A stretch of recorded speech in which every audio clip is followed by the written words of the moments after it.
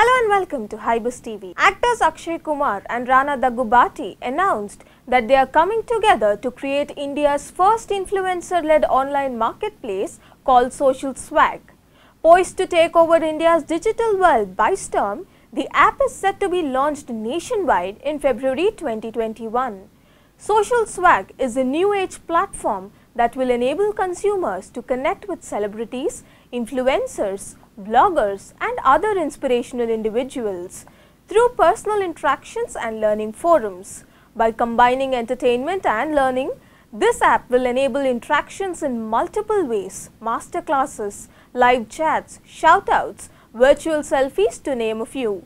Talking about the app, superstar Akshay Kumar commented that he has seen so many opportunities in the digital domain this year and he believes being able to connect with fans through this platform with some of their products like his masterclass or a virtual selfie will give not only him but all his peers an additional opportunity to closely connect with fans in these changing times.